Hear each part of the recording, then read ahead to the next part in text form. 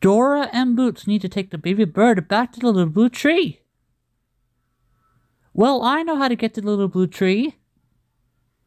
To get to the little blue tree, first, you need to go past the bananas, through the cornfield, and that's how you get to the little blue tree.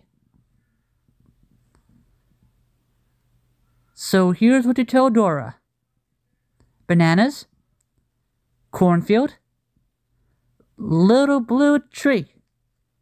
Say it with me. Bananas, cornfield, little blue tree.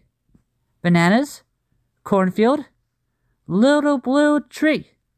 Bananas, cornfield, little blue tree.